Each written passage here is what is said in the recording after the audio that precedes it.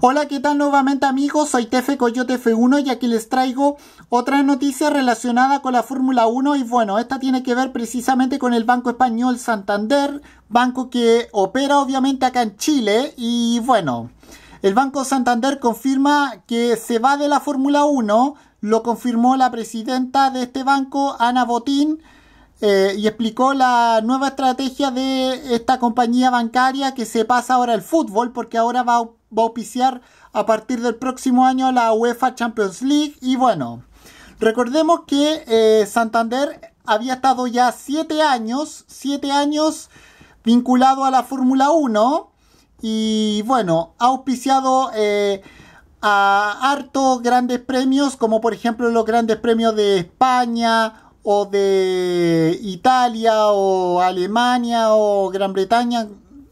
Varios grandes premios de la Fórmula 1 auspiciado, varios grandes premios Fórmula 1 auspiciado de este banco.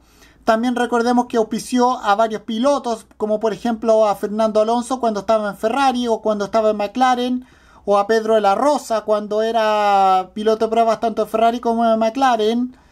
Eh, también auspiciado a varias escuderías Recordemos que cuando recién empezó la Fórmula 1 auspició, al equipo McLaren. Desde 2010 había auspiciado al equipo Ferrari. Eh, cuando, estaba, cuando estaban pilotos como por ejemplo Fernando Alonso, ahora Sebastián Fettel. Y, y bueno, va, va, y bueno, varias anécdotas eh, relacionadas de la Fórmula 1 relacionadas con este banco. Y bueno, Así que Ferrari va a tener que buscarse un auspiciado principal porque como yo ya les dije, Santander no auspicia más a la Fórmula 1. Bueno, vamos a ver cuál va a ser el sustituto de auspicio de Santander en Ferrari para el próximo año. Y bueno, lo vamos sabiendo con el tiempo. Y con esto me despido, nos vemos, adiós, que me fuera, chao.